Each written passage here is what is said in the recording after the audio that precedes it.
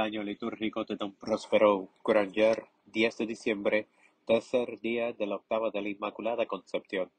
Contemplemos a la castísima María visitada por el ángel Gabriel al concebir en sus purísimas entrañas al Creador del mundo y Redentor del género humano.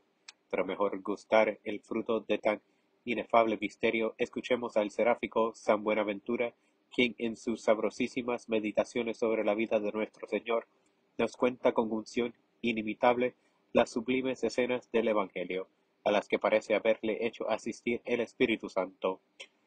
Cuando llegó la plenitud de los tiempos en que la Santísima Trinidad había determinado salvar el género humano, del cual se había perdidamente encariñado mediante la encarnación del Verbo, cuando la bienaventurada Virgen María volvió a Nazaret. Dios omnipotente, movido por su misericordia, y oyendo las apremiantes súplicas del Espíritu Santo, llamó al ángel Gabriel y le dijo, Vete a buscar a nuestra amadísima hija María, desposada con José, para mí más querida que todas las criaturas, y dile que mi hijo se ha predado de su belleza y la ha escogido por madre, y ruégala que acepte con alegría, pues he determinado obrar por su medio la redención del género humano, y quiero olvidar las injurias recibidas. Levantóse Gabriel alegre y presuroso, y bajando de las alturas, disfrazado de humana apariencia en un momento, presentóse ante la Virgen María en la alcoba de su casita. Pero no fue tan rápida su bajada que no acudiese Dios antes. Allí encontró a la Santísima Trinidad que se había anticipado a su embajada. Ya ante la Virgen María la dijo Gabriel, su fiel paraninfo. Dios te salve llena de gracia, el Señor es contigo. Bendita tú entre todas las mujeres pero ella turbada nada respondió, no por una turbación culpable ni por la visión del ángel, a la que ya debía estar habituada, sino como parece indicar el Evangelio, por la novedad del saludo, pues no acostumbraba a recibirlos de aquel estilo. Ahora bien, como en aquel saludo se la necesitaba por tres cosas, no podía dejar de turbarse la humilde señora, comenzó a temer y a pensar si todo aquello sería verdad, no porque creyese al ángel capaz de engañarla, sino porque es propio de los humildes no examinar sus virtudes, sino considerar sus defectos para poder siempre sacar provecho, juzgando pequeñas sus grandes virtudes y dando mucha importancia a sus más insignificantes defectos. Así pues, como mujer prudente y avisada, nada respondió Nuestra Señora. En realidad, que iba a responder? Aprende tú también a guardar silencio y amar el recogimiento, que son virtudes muy útiles y elevadas. Dos veces escuchó antes de responder. Abominable cosa es para una virgen ser habladora. Así pues, conociendo el ángel el motivo de sus dudas, la dijo, No temas, María, no te sonrojen mis alabanzas, porque son verdaderas, pues no solo eres llena de gracia, sino que la has hallado y alcanzado también para todo el género humano, porque he aquí que concebirás y darás a luz al Hijo del Altísimo. El que te eligió por madre salvará a todos los pueblos que esperan en él. Entonces respondió ella, aunque sin confesar ni negar todavía la verdad de tales felicitaciones. Había aún un punto sobre el que quería asegurarse, el relativo a su virginidad, porque amaba por encima de todo y temía perder por eso preguntó al ángel la manera cómo se había de realizar tal concepción, diciendo, ¿Cómo será eso?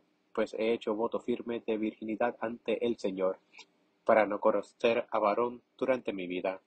Y el ángel contestó, El Espíritu Santo realizará esa obra, cubriéndote de singular manera por su virtud, concebirás sin determinamiento de tu virginidad por eso tu hijo será llamado Hijo de Dios, porque nada hay para él imposible.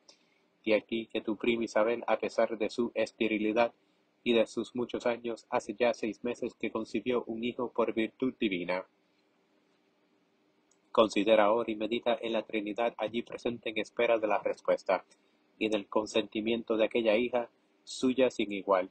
Considera a la Trinidad que contempla con amor y complacencia su modestia, sus modales y palabras. Mira a Gabriel inclinado con respeto ante su señora, con el rostro tranquilo y sereno, observando atentamente las palabras de su queridísima reina, para poderlas responder adecuadamente y cumplir la voluntad del Señor en aquella maravillosa obra. Considera la tímida y humilde actitud de Nuestra Señora, su rostro cubierto de pudor al ser así saludada por el ángel de improviso. Las palabras de éste no le producen vanidad ni orgullo, más bien al oír decir de sí cosas que nunca jamás fueron dichas de nadie, atribúyelo todo a la gracia divina. Aprende pues a ser modesto y humilde como ella, pues sin eso poco valor tiene la virginidad. Regocíjase la prudentísima Virgen y da su consentimiento a las palabras oídas de labios del ángel. Entonces, según refieren sus revelaciones, se puso de rodilla y con las manos juntas y en actitud de profunda adoración dijo, He aquí la esclava del Señor, hágase en mí según tu palabra.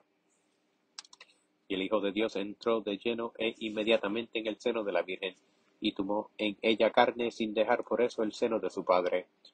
Púsose luego Gabriel de rodillas junto a su reina y señora, levantóse poco después con ella, inclinóse hasta el suelo, díjole adiós, y desapareció, de vuelta a su patria, contó todo lo que le había sucedido.